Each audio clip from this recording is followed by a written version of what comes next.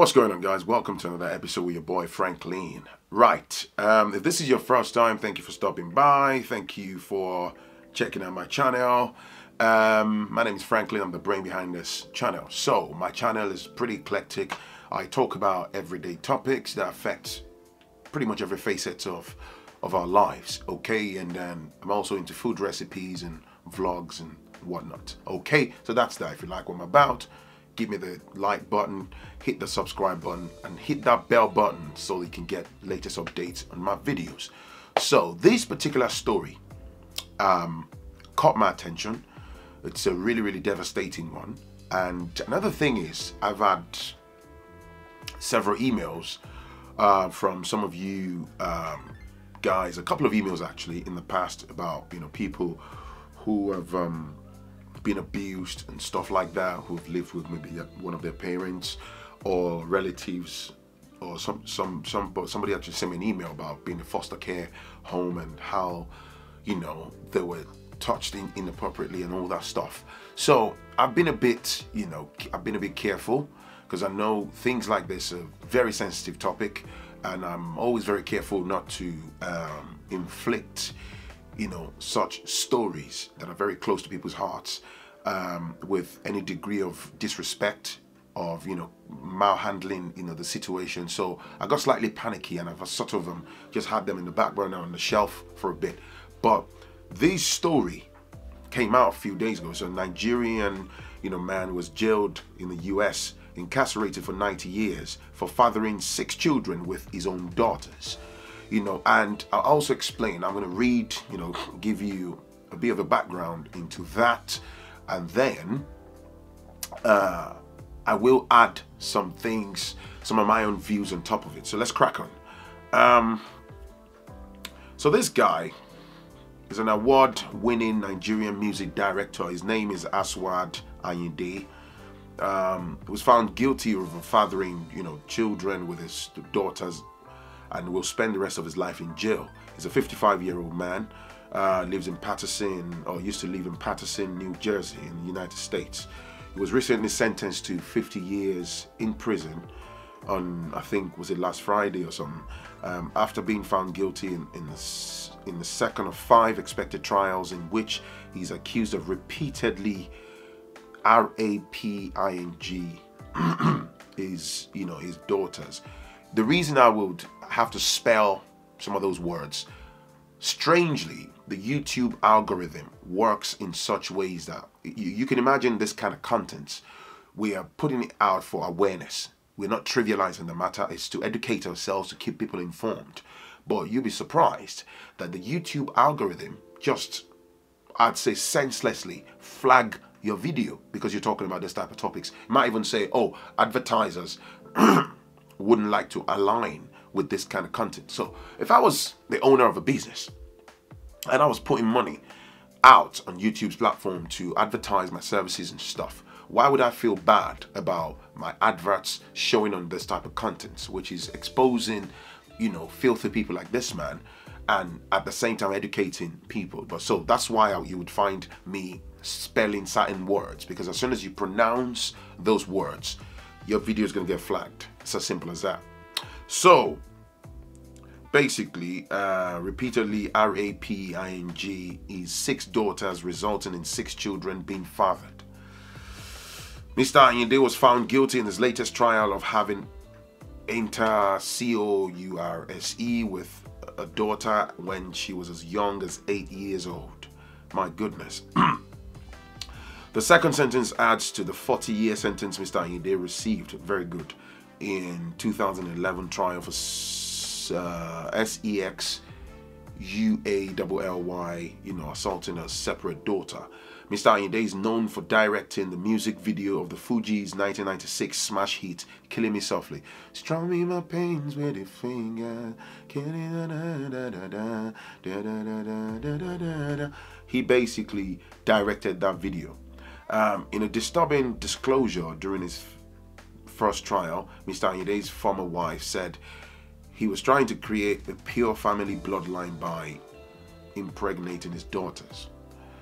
Man, that's some high level mental health problem.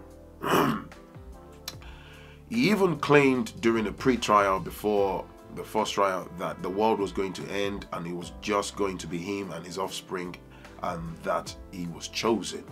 Right. So I'm gonna, I'm gonna go through this a bit bit lengthy, but the reason is very important that if you're watching this, you probably haven't heard of this news, and then it gives you you know a background into what we're talking about. In the latest trial, it was revealed Mr. Ayinde began having inter C with his second daughter from the time she was eight years old and impregnating her four times. The S X U A L a-W-S-A-U-L-T-S happened for almost 30 years until Mr. Ayinde and his wife separated, officials said. They occurred in numerous homes across northern New Jersey, even while family was on the watch of state child welfare officials, according to NBC New York. Some of the RAPS even took place in an abandoned funeral home. My goodness. The family moving as far as Florida to avoid investigation after case workers removed multiple children from the Ayinde household in 2000, um, resulting in Mr. Ayinde being arrested for KIDNAPPING for trying to take them from state custody in the medical center, NBC New York reported. He pleaded guilty to lesser charges and received a year's probation as he continued RAPING one daughter for at least another two years, according to officials, right? The depraved father also beat and starved the girls using wooden boards and steel-toed boots for even minor transgressions. Uh, his wife testified at the first trial. Some of the Children Ayinde fathered with his daughters were born in the home with at least two babies who died in the home after having been buried without notifying authorities of obtaining birth certificates. Now, he tortured the daughters. Uh, they were homeschooled and isolated from other children so as to keep the family's secrets hidden. Um, now, check this out. With his wife, too afraid to confront him, Mr. Ayinde carried out his evil plan without hindrance, even while directing the music video for the Fugees' 1996 breakout hit, Killing Me Softly, for which he won Best R&B Video at the 1996 MTV Music Video Awards. The Fugees are also originally from northern New Jersey. Now, one of the reasons this caught my attention, like I said, these sort of um, behavior is prevalent in the black community. Oh my goodness. I've said this in the previous video. I actually don't remember which, which of the episodes now. And it's like a taboo. In fact, one of the first things that people do that I've, I've, I've seen that I'm aware of is they try to cover up. They cover up, not even try to cover up, they cover up and um, it's like you don't talk about it. So basically an uncle or father has done something, something serious as this. What they then do is they cover up and stuff. So you see, what I'm not buying into is his wife too afraid to confront him. You were too afraid to confront him. You're a woman. You carried these children, each for nine months. These are your children. And you, so basically, as far as I'm concerned, correct me if I'm wrong here, the woman had a knowledge of the plethora of ABUSE, right? That happened for many years. She was thoroughly aware, okay? Now, you don't have to confront him yourself. Nobody's asking you to physically do something to him whereby he might be able to overpower you and obliterate you. But you had the abundance of opportunity. Abundance being the objective word here you had the abundance of opportunity to have notified the relevant officials that would have taken the door off the hinges and clamped down this man and curtailed that cycle of ABUSE. But you didn't. You didn't. You you were too afraid. So by so doing, this man had the opportunity to go for many years and repeatedly and repeatedly carried out these absolutely despicable actions against children. There's somebody watching this there are a ton of women. This is why, you know, the what we've made the idea of marriage in our community, in our society, what that it's been interpreted as and made out to be drives me nuts personally. This is why I don't exist in a box. I'm a nonconformist. I exist outside the box. Okay? If this is wrong, this is wrong. Let's talk about it. Let's expose it. Because you cannot tell me that this is exactly what some of the things I've said in the past. When you see, it's the same thing. If you're in a, an abusive relationship, you know you can see, but you sit down there, you are too afraid. But there are vulnerable children being taken advantage of. That woman, in my own opinion, should also be jailed because you're an accomplice.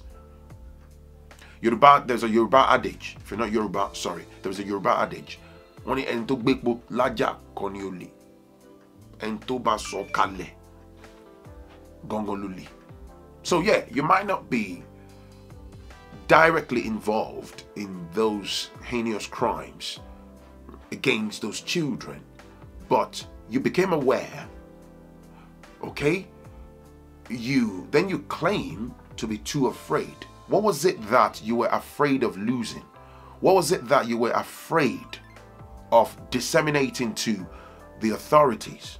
Because of course, of course, if somebody is involved in AB you know, S E X U A L A B U S E, and you confront the person, they're more than likely going to charge at you, want to do something to you to prevent you from, you know, exposing them. Of course. But you had the abundance of opportunity. I, I, it's absolutely devastating. He's going to spend the rest of his life in prison, which, which is a fantastic outcome. But how about those children? How the, the, the, the children that those children gave birth to. How do you begin to explain the filth to them? Imagine the traumatizing effect that's going to have on their respective lives in going forward. Those children might never, and, and their own children might never even gain closure for the rest of their days on this planet. So it's prevailing in our community. Oh my God. So, a word of advice if you're watching this if you call yourself a mom, you're in a relationship, you caught your man or your boyfriend or your fiance or whatever, you catch them or your cousin or anybody red handed indulging in S E X U A L A B U S E, and you look away and you do nothing about it, you are as bad as that person so it's my reasonable submission that you are complicit in that evil act. You have an awareness, you look away. Somebody's doing that to your children or some other vulnerable children and you say nothing. It means you're a complicit.